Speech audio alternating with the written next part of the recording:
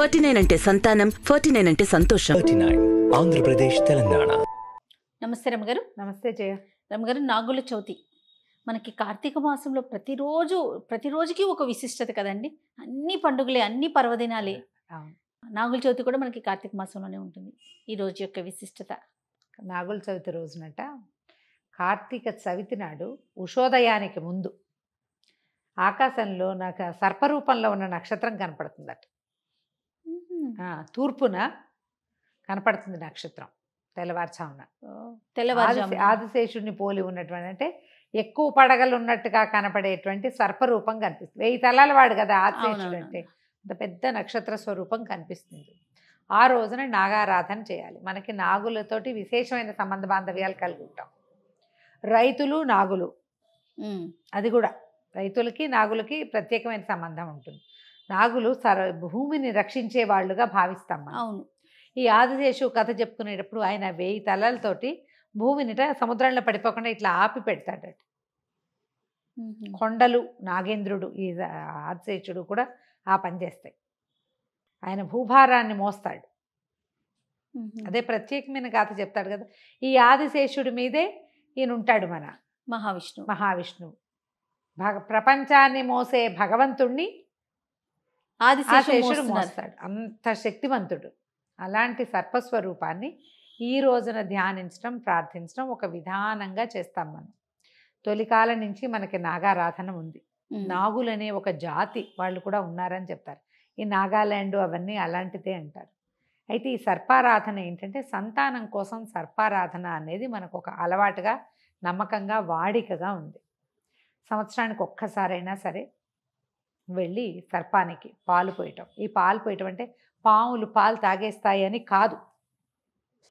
ఒక ఒక సౌమ్యమైన పదార్థాన్ని ఇప్పుడు నీళ్ళే పోయొచ్చు పోని. నీళ్ళల్లో శక్తి ఏముంది?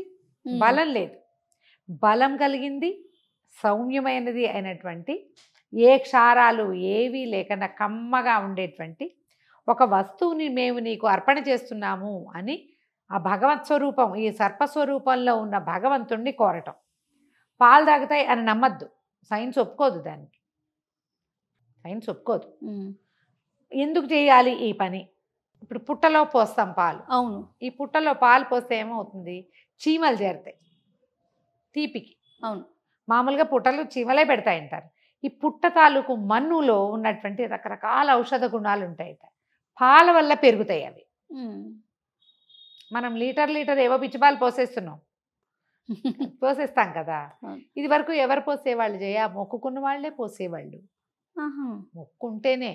పైగా అందరికీ కలిపి సార్వజనీన ఒక పుట్ట ఉండేది కాదు. ఎవరి పొలంలో వాళ్ళు పోసుకునేవాళ్ళు. ప్రతి పొలానికి. ఉండేది. ఉండేది. ఒక కుటుంబానికి ఒక పుట్ట కూడా ఉండేదట పూర్వకాలంలో. సంవత్సరానికి ఒకసారి పాలు పోస్తే ఆ మట్టి మరింత సారవంతం అవుతుంది. అది. ఆయనని గౌరవించటం మనం. నువ్వు మాతో ఉన్నావు మాకు కలిగింది. అత్యంత సౌమ్యమైనది బలమైనది. ఆయుర్వృద్ధిని కలిగించేటువంటి నెయ్యిని భరించే పాలని నీకు సమర్పిస్తున్నాము. ఒక మర్యాద ఒక గౌరవం ఒక ప్రీతి. అదే మనం సమర్పించేది. ఇలా ఆలోచించండి మీకు అర్థమవుతుంది. ఇంకప్పుడు వితండవాదం రాదు రమ్మగారు. రాదు. పైగా ఏమిటి వెళ్ళి ఏమి చేయకుండా వెళ్ళి పుట్టమట్టి తెచ్చేస్తామా? ఎవరింటికైనా వెళ్ళాము. వాళ్ళ. ఇంటి నుంచి బస్సు పెడితే వాళ్ళ కోటి ఇచ్చి వాళ్ళ ఇంటి నుంచి తెచ్చుకోవాలి అంతే కదా. ఈ పుట్టలో పాలు పోసి నమస్కారం చేసి పుట్టమన్నుని ధరించటం. పుట్టమన్నుని స్వీకరించాలి. ఈ పుట్టమన్నులో ఎంత సాఫ్ట్గా ఉంటుందో చేయాలి పుట్ట భూమిని తొలిచి ఉంటాయి కదా ఆ పురుగులు వాటి బయట వల్ల తొలవబడుతుందో వాటి యొక్క లక్షణాలు ఏంటంటే కొంత ఔషధ గుణం పెరుగుతుంది. అందుకని ప్రత్యేకంగా ఇది చెప్తారు. ఎన్ని చోట్ల ఇలాగా. ఈ పైగా ఈ సర్పారాధన ఏంటి? నా మన నాగ ప్రతిష్ఠ చేస్తే. నాగ ప్రతిష్ఠ చేసినా కూడా సంతానం కలుగుతుంది. నాగారాధన చేసినా కూడా కలుగుతుంది. రావి చెట్టు మొదట్లో సర్పారాధన చేయటం. ఈ నాగశిలల్ని ప్రతిష్ఠ చేయటం. దానికి కావాలంటే ఈ రోజును కూడా చేయొచ్చు. ప్రతిష్ట. ప్రతిష్ఠ కూడా చేసుకోవచ్చు. ప్రతిష్ఠ చేయబడినటువంటి ఇలా జంట పాములు కలిసి ఉన్నట్టుగా కనపడుతుంది కదా. అక్కడ మనం ఆరాధన చేసినా కూడా మంచి ఫలితం లభిస్తుంది. కొన్ని చోట్ల కొంతమంది ఏం చేస్తారు? ఎక్కడెక్కడ పుట్టలు ఉన్నాయో చూసుకుని పుట్టలో పాలు పోస్తారు. పాలు పోసి పాలతో పాటుగా సాత్విక ఆహారంగా చెప్పబడే బియ్యము చలి బెల్లము కలిపిన చలిమిడి. నువ్వులు బెల్లము కలిపినటువంటి చిమ్మిరి అరటిపళ్ళు పాలు సమర్పిస్తారు. చాలామంది దీపాలు పెట్టరు.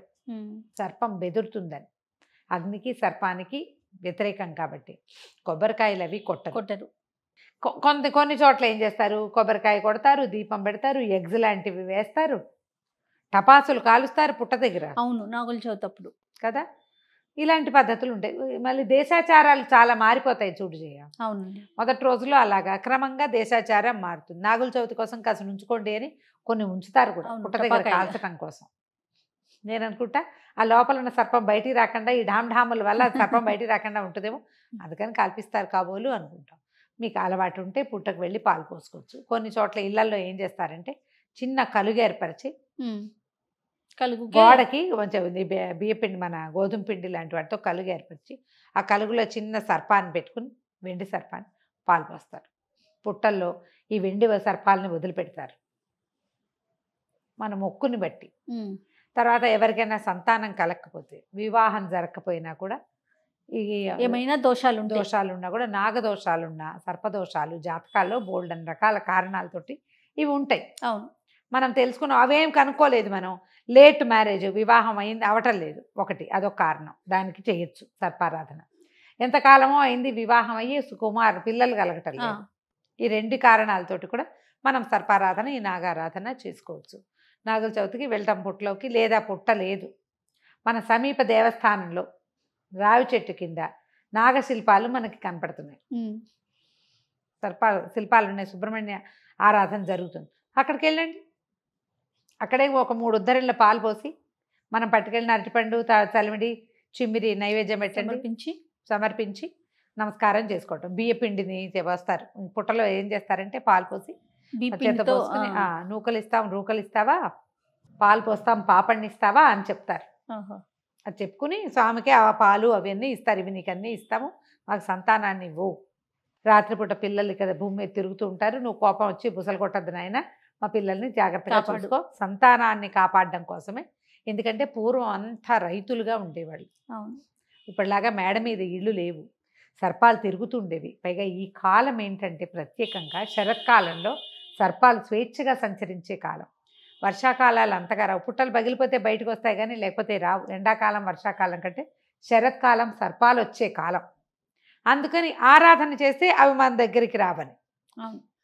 ఇంకోటి కూడా నాకు అనిపిస్తుంది చెయ్య అవి ఎవరి ప చేలో ఉన్న పుట్టలోకి వాళ్ళు తిరుగుతున్నారనుకో మనుషులు జనం తిరుగుతున్నారని కూడా బయటికి రాకుండా ఉంటాయి. తిరిగే వైపు కాకుండా జనం తిరగని వైపుకి వెళ్తాయి. సేఫ్టీ కోసం కూడా అయి ఉండొచ్చు. మేబీ. ఈ టపాసులు కాల్చడం కూడా అది అయి ఉండొచ్చు. ఆరాధన ఒకటైతే జాగ్రత్త రెండోది ఓకే. ఈ రెండిటి కోసము చేస్తారు. సంతానార్థులు ఎవరైనా సరే మనం సర్పార దీనికి ఆనవాయితీలు అక్కర్లేదమ్మా. మీరు కావాలంటే సుబ్రహ్మణ్య ఆరాధన జరిగే చోట చక్కగా ఈ ఆరాధన చేసుకోండి. చేయొచ్చు. ఇదేంటంటే పగలు ఉపవాసం పగలు భోజనం చేసి రాత్రి ఉపవాసం ఉంటారు. సాయంత్రం అయ్యేసరికల్లా ఆ పాము పడుకుంటుందని చెప్తారు. పడుకుంటుందని రాత్రిళ్ళు ఏవి నవిలేవి తినరు. తరిగిన కూర తినరు. అవును. కూరలు తరగరు.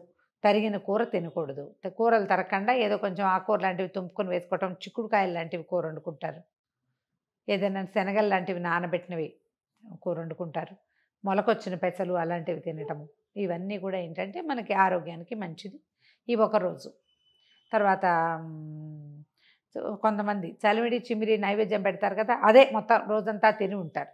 మర్నాడే భోజనం చేసే వాళ్ళు కూడా ఉంటారు. ఓకే. చలిమిడి తిని ఉండటం. మీకు ఎలా కుదిరితే అలా చేయండి. అవన్నీ కుదరవు అనుకుంటే పగలు భోంచేసి రాత్రి రాత్రి ఉపవాసం. ఉండండి. అంతే. సంతోషం గారు నమస్తే. నమస్తే జయ.